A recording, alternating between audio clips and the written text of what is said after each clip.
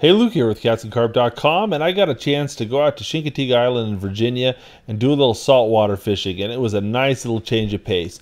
I'm going to show you what I was doing and how I was doing it. So first off, the rigs I were using were called high-low rigs. They're these uh, rigs with two wire arms, and you put these two watt wire leader uh, J hooks on each arm and a big old lead on the bottom. I was using like a 12 ounce lead. And then I would take these uh, croaker here, about uh, half pound, one pound croaker, cut it in half, cut the tail off, and put a piece on each one of the two hooks. So each rod had two hooks and half a croaker on each hook. I was using big old 12 ounce, 16 ounce leads because there's a lot of current in this channel and so you needed a lot of weight to pin your gear down. Now of course I can't cast uh, you know 16 ounces of lead very well. So I was kayaking my bait out into the middle of the channel.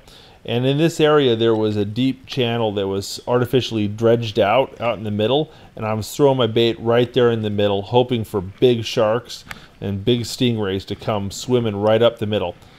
And it did not take long. First 10 minutes in bam, got a big old hit on my 13 foot dam rod, and it was uh, quite the quite the fight.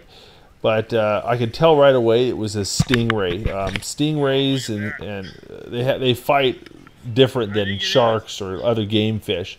They pull really hard, but they don't tend to ch- change directions much, and they like to suck down onto the bottom and just stick there. And they feel like they're hung up, and then you got to pry them off the bottom and keep them keep them going, and there there it can be quite a fight. Um, the biggest problem though is I forgot to bring a landing net. I figured I would be fishing off the sand, and uh, yeah, I didn't have a landing net. And while, while I was trying to figure out how to land that one fish, my second rod goes off. So I'm running over, and my dad's holding the other rod, and I'm fighting and uh, fighting another fish. And I can tell right away it's another stingray. And I'm uh, using these uh, Ugly Stik tiger rods, the heavy action uh, 40 pound on uh, rods, one piece rods.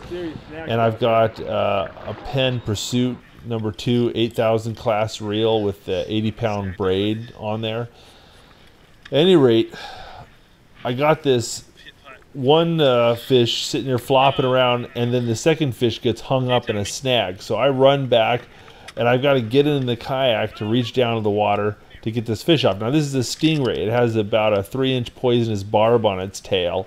So you got to be really careful. Luckily they're a pretty docile creature. Um, and they normally don't sting you too much, but when they're really pissed off about being, you know, having a hook in their face, you know, all bets are off. But you get them on their belly and they can't get you. They can only sting you if you're uh, from the top. So, uh, you know, keep them on their backs if you're unhooking them. At any rate, I get that one stingray off and I've got to hustle back and go deal with my snagged up fish. And what I've done is, once I realized it was snagged, I flipped open the bail, gave him a lot of slack, and then just let it in the rod holder. And I hoped he would swim his way out. Fortunately, it doesn't work all the time, and the fish was still snagged up, so I just popped him off.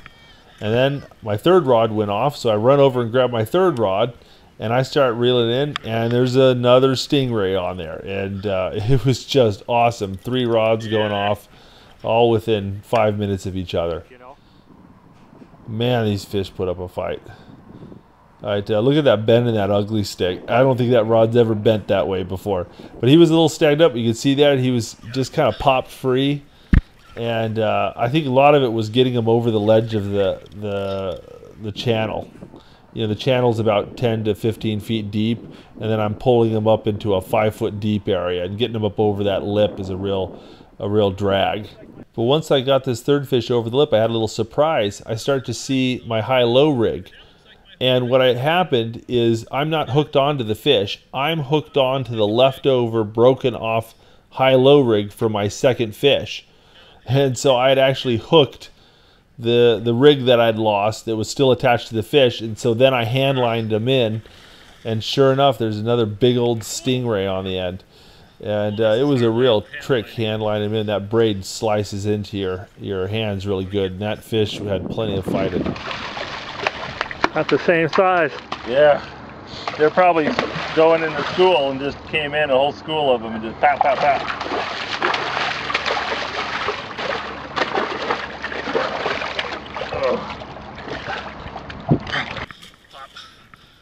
it was a lot better.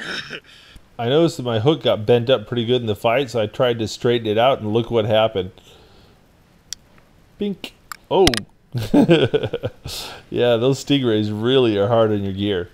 But at any rate, that was so much fun. I had to get my rods back out there, and but unfortunately, the tide was turning on me. When I put my gear out, it was just prior to high tide, and then uh, the tide started to change on me, and all this seaweed enters the channel, and my gears would just, you know, after three four minutes, it would just be a 20 pound ball of seaweed and that's how it is with the tides. When you're kayak fishing like this, you have so much line in the water that the tide and the winds have a super effect on, on your gear. So you really got to watch the wind and the tide. So after picking seaweed off my gear for a couple hours, I gave it up, and the next high tide, I was out trying it again.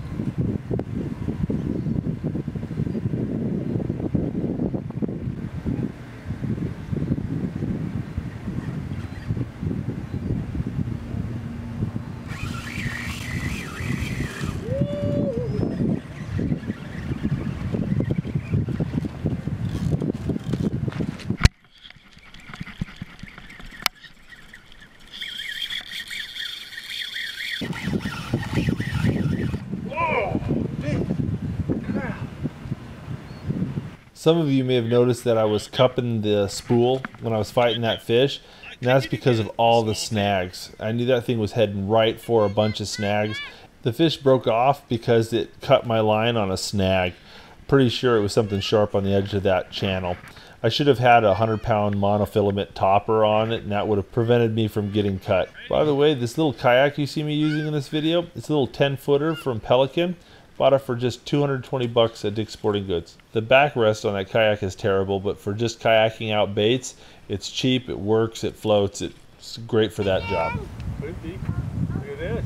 Yeah, that's a fish. It could be. Now you'll see me just go and run back. I've got a load of line out there. I'm I've probably got two to three hundred yards of line out.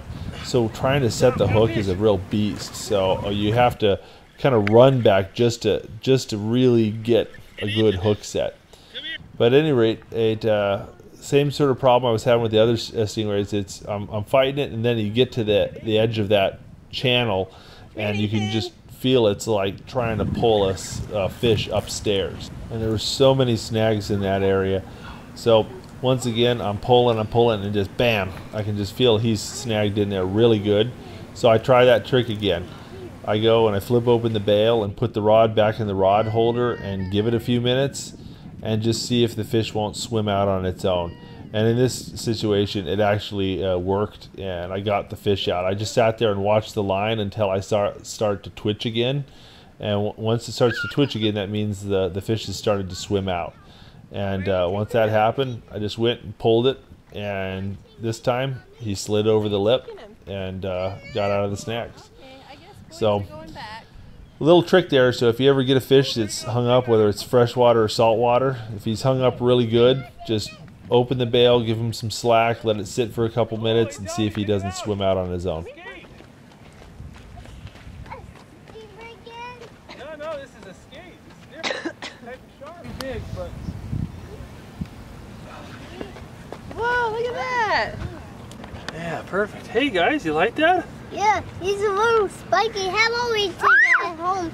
How about we take it out home day and he can swim? Well, at any rate, I hope you enjoyed this video of a day of me fishing at Chincoteague Island in Virginia. Thanks for watching.